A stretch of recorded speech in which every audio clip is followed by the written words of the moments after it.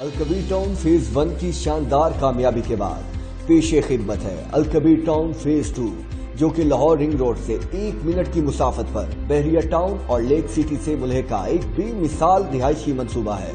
Gated community park मसाजिद और ई class development के साथ कुशादा सड़कें अंडरग्राउंड इलेक्ट्रिकल वायरिंग और तमाम सहूलियात ज़िंदगी से आरास्ता।